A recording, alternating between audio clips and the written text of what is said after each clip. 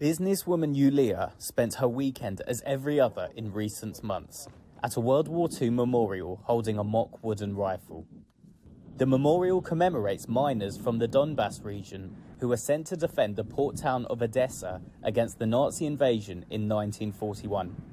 Yulia, along with many other citizens, are training for a similar scenario as Russia's navy holds drills not far from Odessa's bay.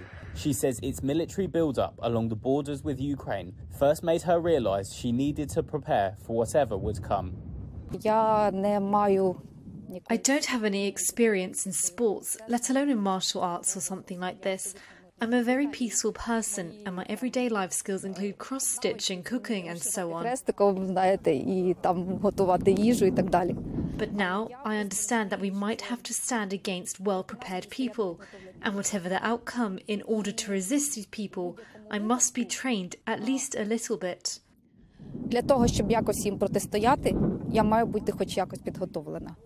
The Territorial Defence Force volunteers are trained by instructor Valery Nachvinov.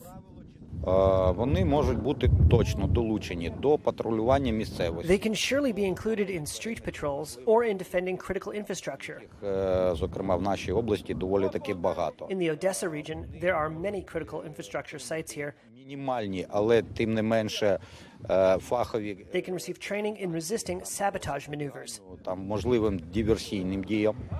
The RIA news agency reported over 30 ships from the Russian Black Sea Fleet have started training exercises near the Crimean Peninsula as part of wider Navy drills.